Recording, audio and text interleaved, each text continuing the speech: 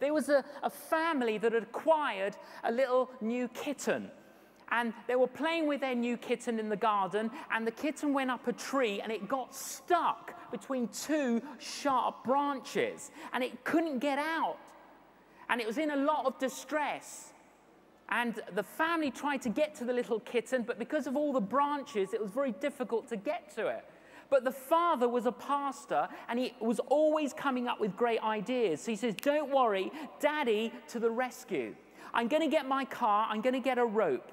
I'm going to tie the rope round the tree. I'm going to tie it onto the car. I'm going to get in the car. I'm going to drive a bit. The tree will come down, and then we'll be able to maneuver around and we'll be able to save the little kitten. Everyone said, Daddy, to the rescue.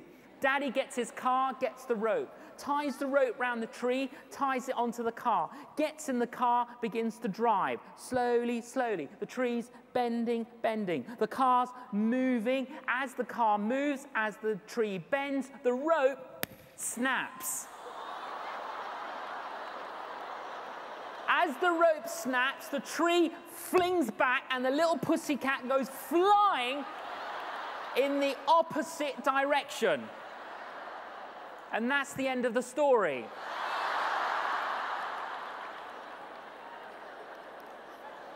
Two weeks later, the pastor is visiting a member of his congregation. He knocks on the door, the door opens, the lady says, Pastor, come in. As he walks in, there in the hallway was his little kitten. He knew, it was unmistakable. So he didn't want to say to her, That's my kitten. So he said, That's a lovely little kitten you've got. Have you had her long?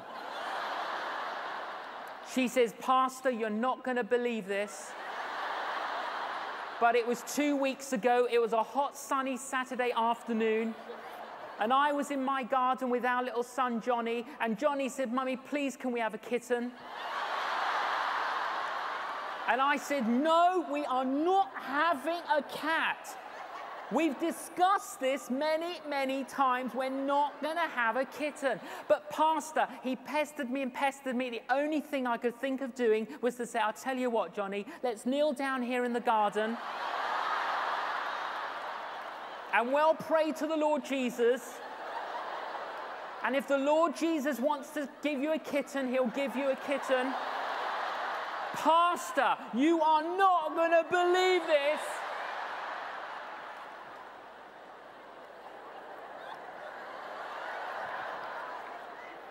When we pray,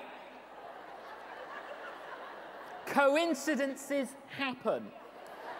And when we don't, they don't.